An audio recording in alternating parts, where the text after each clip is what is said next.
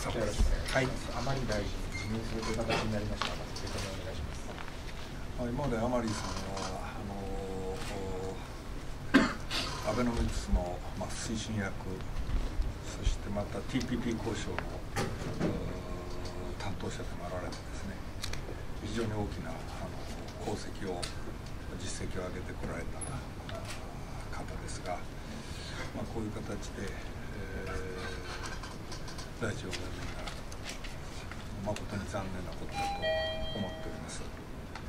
まあ、今一番大事なことはですね甘利さんがやってこられた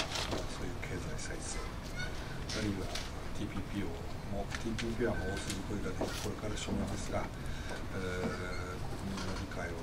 得ながらどう進めていくか待ったなしですのでやはり体制をもう一回きちっと政府はですね進めていけるような体制をきちんと立て直す、まあ、私どもも与党としてそれをしっかり支えていく。これが一番大事ではないかと思っています。今後の石原大臣に対するどういうところがあったでしょうか？まああの石原さんはあの幹事長なさったりですね。閣僚経験も豊富ですので、えー、やはりそういうその過去の経験豊富な経験で、まあ、きちんと対応して、えー、くださるかとそれからあのこの今回の、ね、交代について、これは官邸、総理から幹事長の説明あったんでしょうか？はい、あのお電話いただきました。いつ頃どういったお話があったんでしょうか？まああの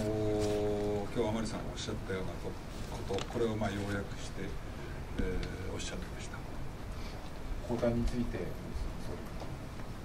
何かおっしゃって今後について。今後ですか？はいまああのもう実際後任の人事は今進んでいるところだと思いますが、あのとにかくしっかりアートをやっていかなきゃいけないという趣旨であったと思いますこの交代がですね国会運営に与える影響というのも懸念されると思います与党としてこのどのようにまあ、これは今、国会も一生懸命、国会対策、国対もですね、一生懸命、えー、やっております。あのそういう重要案件がありますのでね、えー、悪い影響が出ないようにしっかりと立て直していくというのが我々の務めだと思います。各社さんいかがでしょうか？甘利大臣の辞任について総理からお話を伺ったのは大臣の会見を踏まえているということでしょうかそういうことです。すみません。あの参院選でですね選挙権が引き下げる前に政治と金の問題で政治不信国民の政治不信が高まる可能性があるんですが、その点についてどうお考えでしょうか？まああの事実関係もまだ解明の途中であるわけですね。ですから、まあ、まずその事実関係が、あまあ、甘利さんもこれからも説明責任を果たされるだろうと思います。その上であの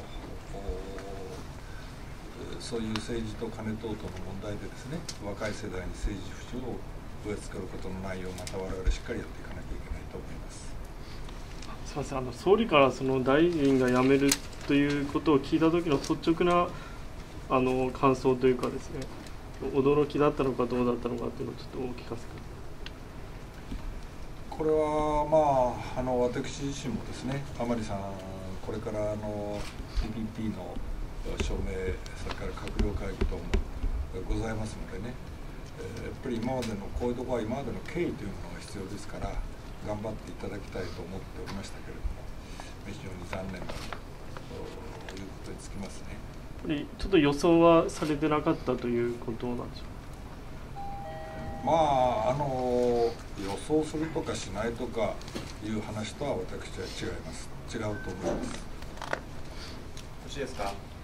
幹事長から総理に対してはどのようなことをお伝えられたんですか？いや総理、なかなかこのご決断は総理にとっても苦しい決断でしたねと申し上げました。しかし、まあ、あとしっかり何よりも大事なのは、非常に残念なことではあるけれども、あとしっかりあのいろんな物事が事態が起きないように、しっかりやっていかなきゃなりませんねと、私もあの幹事長の職責としてそれは全力を挙げてやります、申し上げました。甘利大臣は国会への影響も考えてのあのこの時期の辞任だったと思いますけれども、タイミングについてはいかがお考えでしょタイミング。まあタイミングタイミングのいいとか悪いとか考えたことありませんね。いやもうあの誠に残万やむを得ないことだと思いました。よしそういう万やむを得ないことが起こったんなら幹事長としてしっかり与党の体制を整え直して、え国会対応ともしっかりとこう思ったということにつきますはい、ありがとうございました。